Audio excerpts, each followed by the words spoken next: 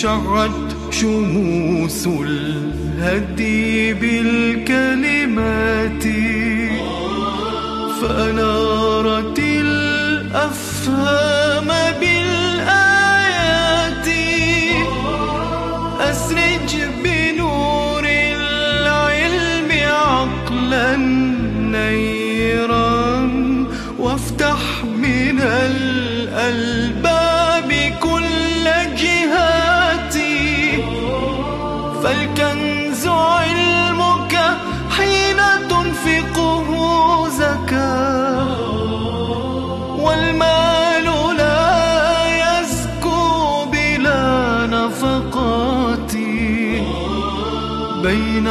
الظلام وبين نور مشرق.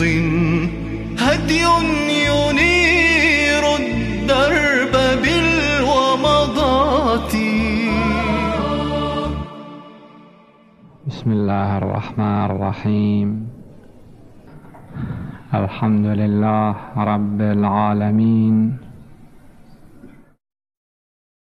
وصلى الله على محمد وآله الطيبين الطاهرين.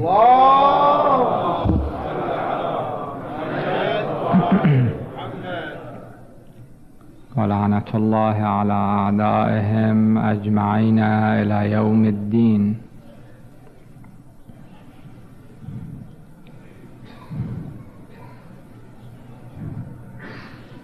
حديثنا في هذا اليوم يدور بإذن الله تعالى حول القدوة الكاملة للمرأة المؤمنة. ونتحدث حول هذا الموضوع ضمن نقطتين. النقطة الأولى ما هو مفهوم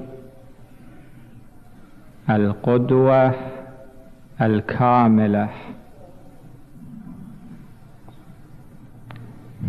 للإجابة على هذا السؤال نقول القدوات على ثلاثة أنواع. النوع الأول القدوات المضادة ما هي القدوات المضادة القدوات المضادة هي القدوات التي تمثل القيم المضادة. الحجاب قيمة إلهية وقيمة إنسانية. عدم الحجاب يمثل قيمة مضاده العبادة قيمة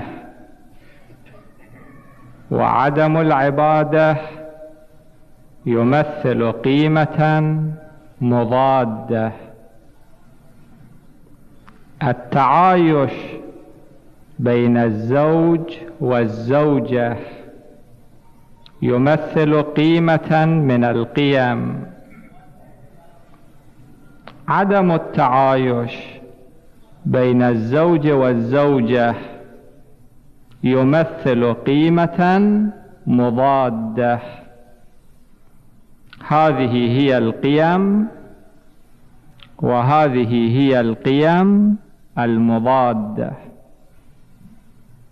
القدوات المضادة هي القدوات التي تمثل القيم المضاده لا بأس قبل أن ننتقل إلى النوع الثاني أن نشير إلى ملاحظة. وهذه الملاحظة أن الكفار المشركون اليهود النصارى ملأوا بلادنا بالقدوات المضاد. هذا الجزء من مخطط شامل. كل شيء يتعلق بالدين بالقيم حتى إذا كان هذا التعلق تعلقا بعيدا. ربما قضية الآن أصبحت مألوفة لدينا قضية عادية. ربما لا نلتفت إليها لأنها أصبحت جزء من حياتنا اليومية. ولكن وراء هذه النقطة الجزئية الهامشية التي نراها وقد لا نراها لأنه الشيء إذا تحول إلى شيء معتاد بعد لا يرى مثل هذا النور نور النهار بعد ما نشوفه إحنا يعني لا نلتفت إليه. لأنه أصبح شيئا معتادا. بعض هذه المفردات وراءها تخطيط. أنا أمثل ببعض الأمثلة. لاحظوا هذه الأمثلة. قبل أعوام ما أعلم قبل أربعين عام خمسين عام ولا أذكر التفاصيل أيضا والخصوصيات. لعل بعضكم لاحظوا الكتب النحوية والصرفية. الكتب النحوية والصرفية اللي كانت عندنا سابقا كنا نقرأها وكان طلاب العربية يقرؤونها. كانت مشحونة بالآيات والروايات. يعني على كل قاعدة نحوية على كل قاعدة صرفية. كانوا بمقدار الإمكان يستشهدون بآية أو رواية. عندما يذكر القاعدة أن كان مثلا وأخواتها يرفعون الاسم وينصبون الخبر. يجيب آية قرآنية. ولكن لاحظوا التخطيط جماعة من مخططي المسيحيين ذهبوا إلى لجنة معينة. لا أذكر تفاصيلها. وأخذوا منها أموال وفيرة كثيرة. قالوا إحنا نريد نعيد كتابة كتب النحو والصرف في البلاد العربية. أخذوا هذه الكتب أعادوا كتابتها لاحظوا كتب النحو والصرف المكتوبة في لبنان المطبوعة في لبنان جردوها من جميع الآيات والروايات. ما فيها ولا آية واحدة ولا رواية واحدة. هذا مو تخطيط. حتى راجعوا كتاب مبادئ العربية. هذا كتاب نحوي وكتاب صرفي لطيف أيضا. ما أظن أن فيه ولا آية واحدة ولا رواية واحدة. هذا تخطيط. إبعاد الأمة عن قرآنها. الطالب لا تكون له علاقة بالقرآن. لا تكون له علاقة بأحاديث النبي صلى الله عليه وآله وأهل البيت عليهم الصلاة والسلام. هذا جزء من هذا التخطيط. السنين التي نعتمد عليها الآن معتمدة على أي حساب؟ معتمدة على السنوات الميلادية. فأين ذهبت السنوات الهجرية التي تبدأ من هجرة نبينا صلى الله عليه وآله؟ وين راحت؟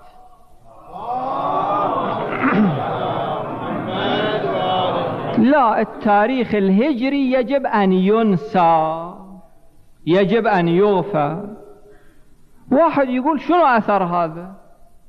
هذا إلى أثر. هذا إلى أثر نفسي. إلى أثر في الأحكام الشرعية. الفقه يعتمد على ماذا؟ السنوات الهجرية عادة. البلوغ يكون بأي سنة؟ كثير من الفتيات يشتبه يشتبهون يتصورون أن البلوغ يكون بالسنوات الميلادية. ما يعرفون التاريخ الهجري. البنت إذا أكملت تسع سنوات ودخلت في العاشرة فهي بالغة مكلفة مثل بقية الفتيات. لا تعرف. في سن اليأس هذا مؤثر. في الخمس كثير من الناس يبنون حساباتهم رأس السنة على السنوات الميلادية. هذا غلط من الناحية الشرعية. السنة الخمسية يجب أن تبنى على السنة الهجرية القمرية. اللباس الذي كان النبي صلى الله عليه وآله. هذا مثال آخر. يقول العمائم تيجان العرب. إذا وضعوها ذلوا. هذا الحديث يحتاج إلى توضيح في وقت آخر.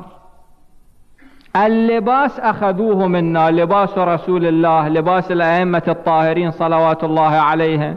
لباس سلمان وأبي ذر والمقداد الهيئة اللي كانوا عليها أخذوها منا فإذا السنوات الهجرية أخذوها منا الآيات والروايات في كتب النحو والصرف والبلاغة أخذوها منا الهيئة الظاهرية أخذوها منا الأوزان والمقاييس والموازين أخذوها منا. سابقا كان عندنا فرسخ. الآن واحد ما يعرف فرسخ يعني شنو؟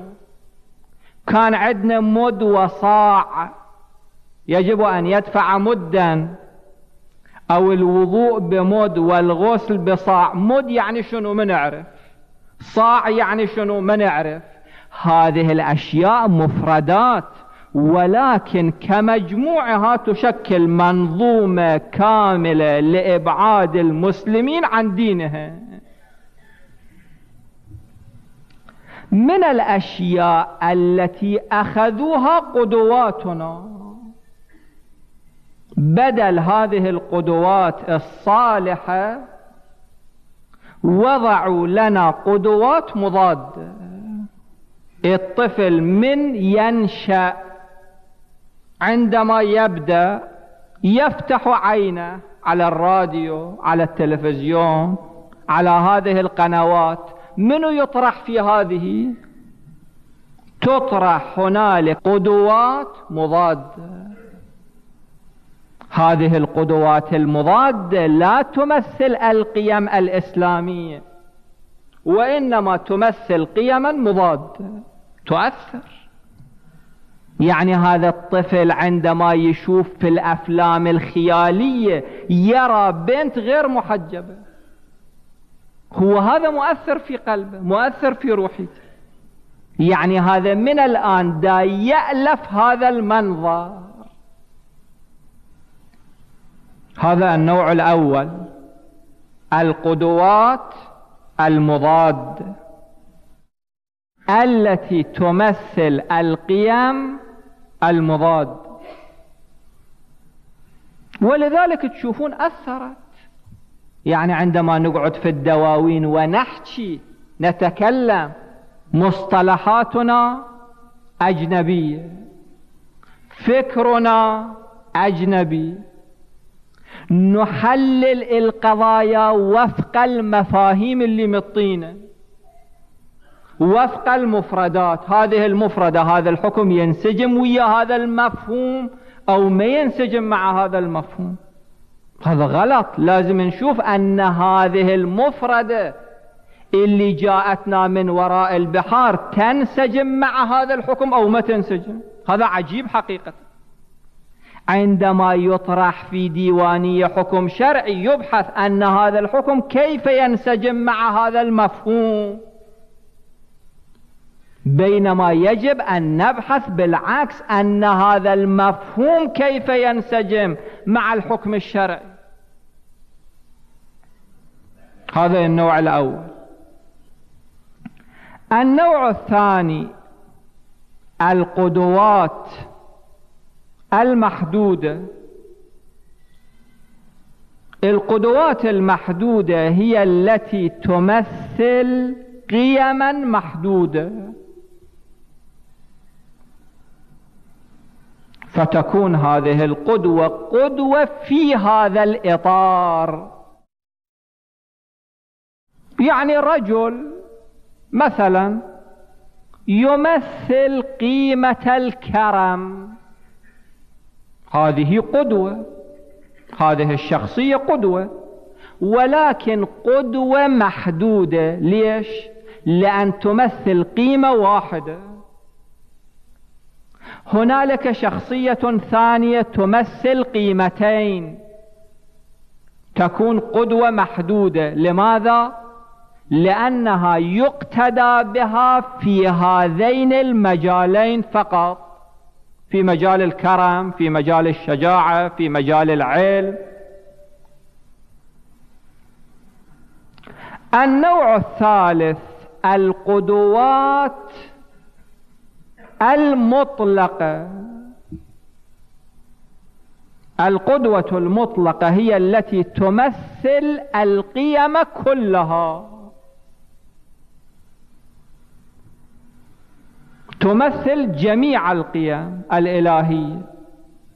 تمثل جميع القيم الإنسانية. هذه يقال لها القدوة المطلقة. الفصل الثاني.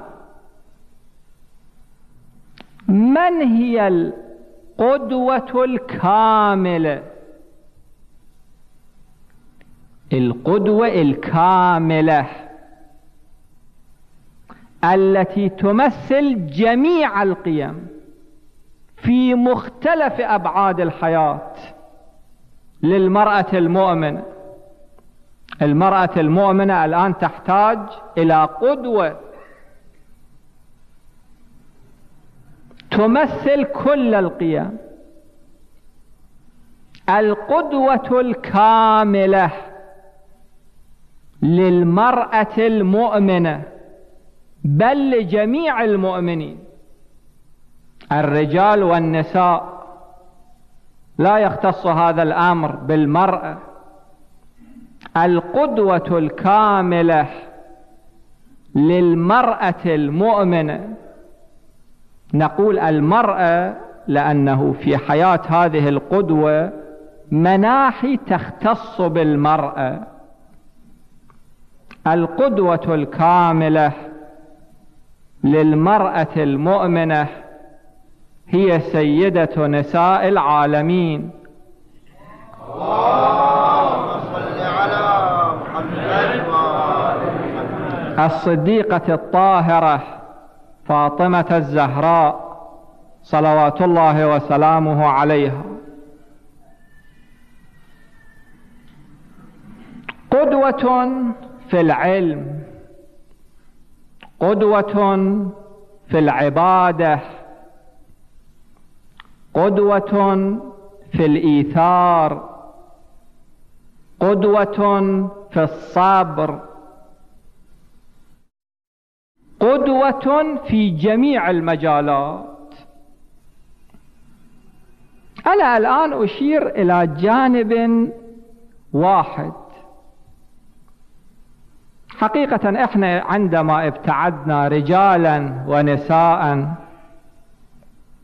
عن حياة الصديقة الطاهرة فاطمة الزهراء لاحظوا هذا الشقاء.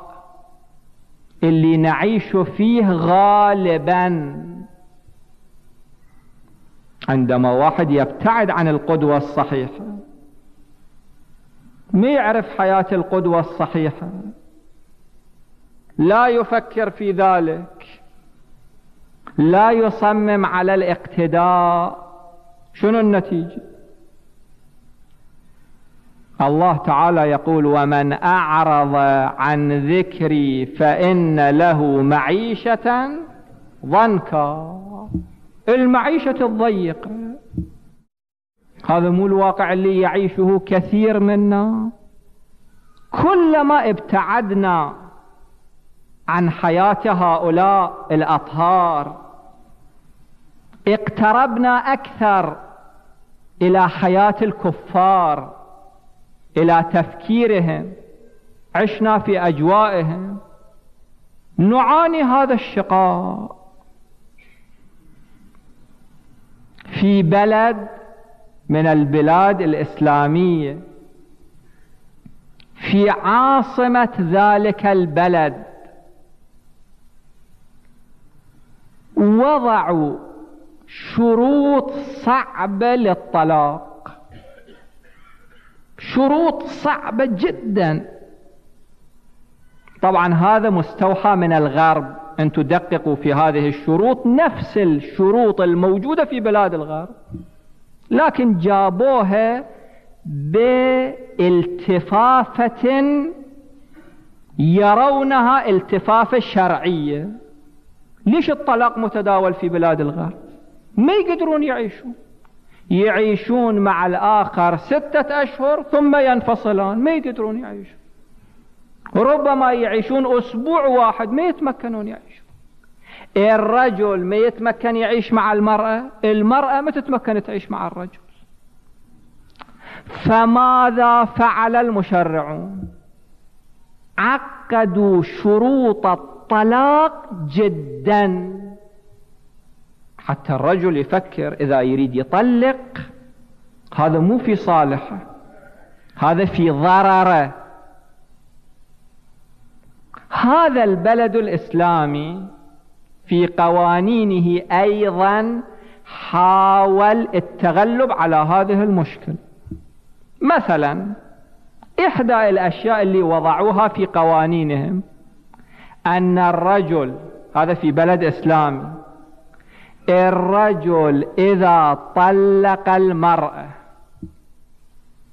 يجب عليه أن يدفع نصف ثروته اللي اكتسبها خلال فترة الحياة الزوجية كلها يدفعها للمرأة.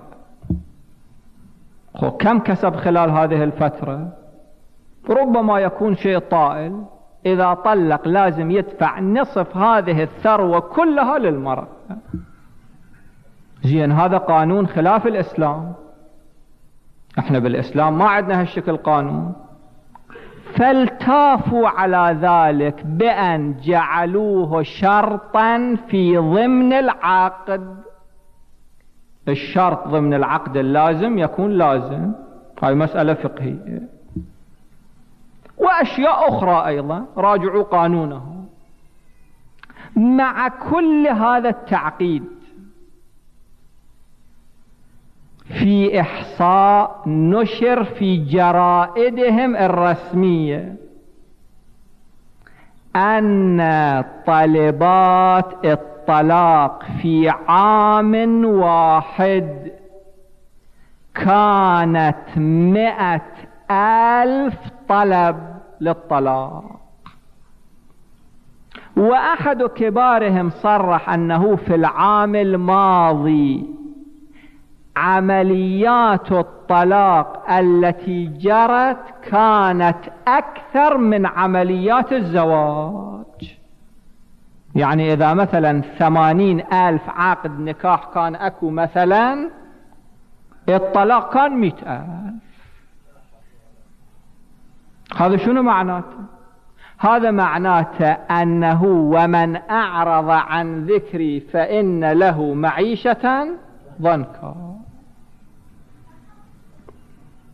وتأتي إلى حياة الصديقة الطاهرة فاطمة الزهراء صلوات الله عليها حقيقة إذا نأخذ هذه المناهج ولو أن أهل القرى آمنوا واتقوا لفتحنا عليهم بركات من السماء والأرض. الإمام أمير المؤمنين صلوات الله وسلامه عليه يقول فوالله قسم ما أغضبتها مرة واحدة ما أغضبتها. أن أعمل شيئا يغضبها. فوالله ما أغضبتها. ولا أكرهتها على أمر حتى قبضها الله عز وجل. هذا من هذا الجانب. أكو عندنا هذا الشيء؟ بلي أكو. الذين ساروا خلف علي وفاطمة صلوات الله عليهما أكو هذا الشيء. في حياة آبائنا كان أكو هذا الشيء.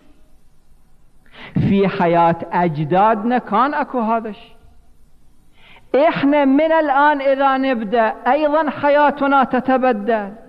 ليش حياتنا جحيم؟ فوالله ما أغضبتها. ولا أكرهتها على شيء حتى قبضها الله عز وجل. وما هذا الجانب الثاني. وما أغضبتني. ولا عصت لي أمرا.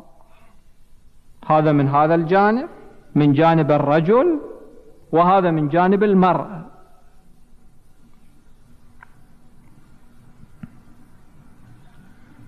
في يوم من الأيام. هذه الرواية مذكورة في البحار. هذا منهج لنا في الواقع.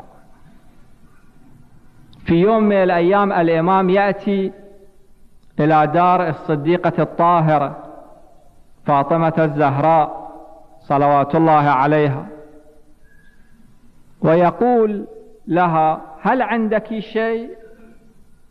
أكو طعام في هذا البيت؟ فقالت الصديقة الطاهرة صلوات الله عليها منذ ثلاثة أيام لا يوجد في بيتنا طعام. ثلاثة أيام. فقال أمير المؤمنين لماذا لم تخبريني؟ فقالت إن أبي يعني رسول الله صلى الله عليه وآله نهاني عن أن أسألك شيئا. أكو في بيوتنا هذا الشيء؟ أكو؟ المرأة لا تسأل الرجل الرجل إذا جاب شيء فبها ونعمت. إذا ما جاب شيء المرأة تقنع بما هو موجود.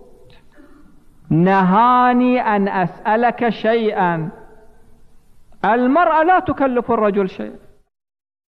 والرجل لا يكلف المرأة شيئا. المرأة أحبت تفعل. ما فعلت لا يكلفها. هذه القضية معروفة عن الشيخ محمد تقي الشيرازي رحمة الله عليه قائد ثورة العشرين هذا المرجع. ما كان يكلف أهله إطلاق. يوم من الأيام كان قد غلب عليه الضعف والمرض والألم. كان في زاوية من الحجرة. الشيخ هذا منهج أمير المؤمنين منهج رسول الله. فجاءوا له بطعام عند باب الغرفة وراحوا. مثلا فكروا لا يزعجون الشيخ. أو لعله نايم الشيخ من شدة ضعفه وإنهاكه ما كان يتمكن. يقوم يجيب هذا الطعام ما كان يتمكن. بعدين مثلا بالليل إجوا شافوا الطعام باب الغرفة. قالوا ليش ما شلت؟ قال ما كنت أقدر. قالوا له لماذا لم تنادنا؟ إحنا نجيب لك الطعام. قال ما كنت أحب أن أكلفكم هذا مذكور في أحواله. والنبي ضمن لجماعة الجنة من جملة شروطه هذا أن لا تكلفوا أحدا شيئا. لا تكلفوا. أكو ماء على ذلك الجانب من المائد. وزوجتك جالسة ابنك جالس تقول أعطني ماء لا.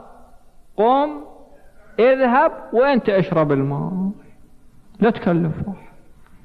هذا من الأشياء التي جعلها النبي صلى الله عليه وآله من شرائط ضمانه للجنة لجماعة. حقيقة إذا الحياة العائلية الحياة الاجتماعية تبنى على هذه الموازين. الآن هذه المشكلة العامة في البلاد الإسلامي مشكلة الزواج حقيقة مشكلة. في تقرير رسمي في إحدى العواصم الإسلامية فتيات ينتحرن. فتيات ينتحرون. من جملة الأسباب هو ما ذاكر الأسباب لكن هذا لابد أنه مؤثر. هذه المشاكل. الفتيات يبقون في البيوت والأولاد يبقون في البيوت. هو لهذه التعقيدات التي تعلمناها من الحضارة الكافرة. الزهراء صلوات الله عليها تزوجت في مقتبل عمرها. أثاث الزهراء صلوات الله عليها. أثاث المعروف أنه كان خمسمائة درهم. إذا تدققون في كتب التاريخ ما كان خمسمائة درهم. لأن النبي صلى الله عليه وآله الأثاث كان أقل من ذلك. خمسمائة درهم الموجود في بعض الروايات النبي صلى الله عليه وآله جعله أثلاثا ثلاث أثلاث. ثلث للطعام. وليمة؟ إطعام النبي خلى هذا المبلغ صلى الله عليه وآله عند إحدى زوجاته ثم دفعه إلى أمير المؤمنين لوليمة الطعام لوليمة الزفاف. ثلث للطعام. وثلث للعطر. العطر جدا مهم في الإسلام. حتى إذا يكون عطر غالي ما في إشكال. إلا إذا واحد العطر يؤذيه ذاك شيء ثاني. معذور. ولكن أكو تأكيد على العطر حتى العطور الغالية ما في إشكال. وثلث للعطر. وثلث للجهاز. ثلث. ثلث خمسمائة درهم يعني إيش قد؟ يعني حوالي مية وستة وستين درهم. هذا جهاز فاطمة صلوات الله عليها. سيدة نساء العالمين من الأولين والآخرين. لذلك عندما تشوفون مفردات جهازها يمكن حوالي المذكور منها في التاريخ حوالي 18 مفردة. الأشياء التي اشتريت بهذا الثلث وحتى الغرفة كانت مفروشة بالرمل خشبة لنصب الثياب عليها. ما أدري مجموعة من الكيزان. قاعب النبي صلى الله عليه وآله عندما أخذ هذا الجهاز أخذ يقلبه. وأخذ يقول بارك الله لقوم جل آنيتهم من الخزف مية وستة وستين درهم. قولوا أن هذه الدراهم فضة وأن كل درهم فضة مثلا يعادل حوالي دينار يعني حوالي مية وستة وستين دينار. هذا مهر سيدة نساء العالم. وحتى هذا الزهراء صلوات الله عليها قالت ما أريد الدراهم.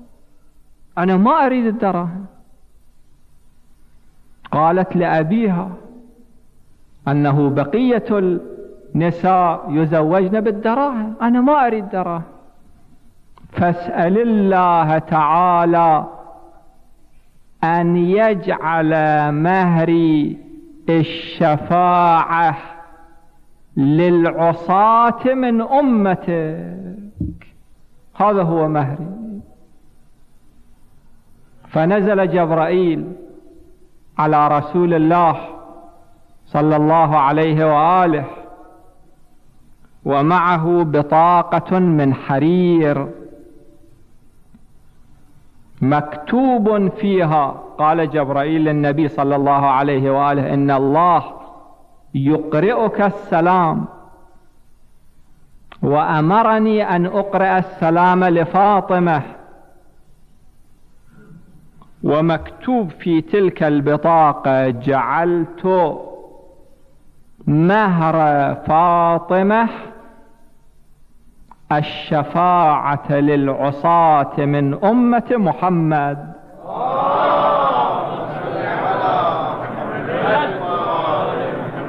في لحظات الاحتضار الزهراء صلوات الله عليها أوصت أن تلك البطاقة من الحرير أن توضع معها في كفنها حتى تأتي يوم القيامة وتأخذ تلك البطاقة وترفعها وتطلب من الله سبحانه وتعالى الشفاعة. والحديث في هذا المجال طويل. الحقيقة إحنا في هذه الأيام في أيام جمادى الأولى في أيام جمادى الثانية يجب أن نحاول أن نستلهم هذه الدروس من حياة سيدتنا ومولاتنا. هذه منة من الله سبحانه وتعالى على هذه الأمة المرحومة. الله جعل من هذه الأمة المرحومة أشرف أنبيائه وهو خاتم الأنبياء محمد.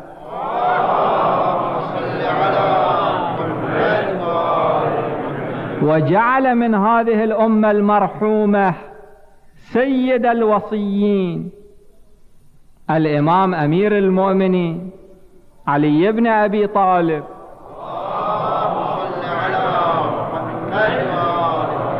وجعل من هذه الأمة المرحومة سيدة نساء العالمين من الأولين والآخرين الصديقة الطاهرة فاطمة الزهراء.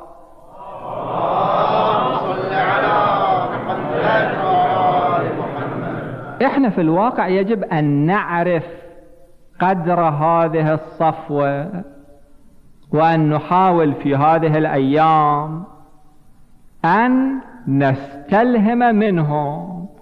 نسأل الله سبحانه وتعالى أن يرزقنا زيارتهم في الدنيا وشفاعتهم في الآخرة. وصلى الله على محمد وآله الطاهرين. شعت شموس الهدي بالكلمات فأنارت الأفهام بالآيات أسرج بنور العلم عقلا نيرا وافتح من الألباب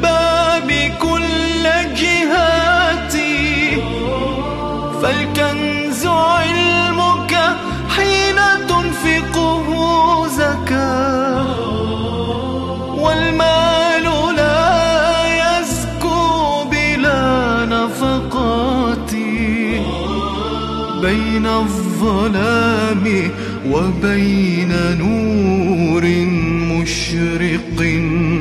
هدي ينير